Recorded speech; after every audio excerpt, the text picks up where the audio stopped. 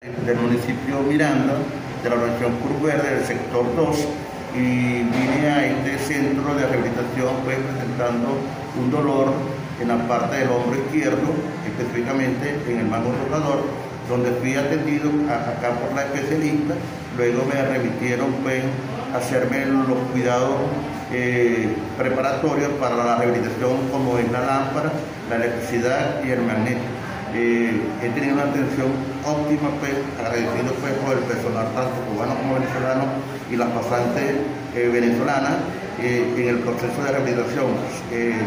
presentando una mejoría bastante adecuada, al cual pues agradezco satisfactoriamente al personal de esta institución. Gracias.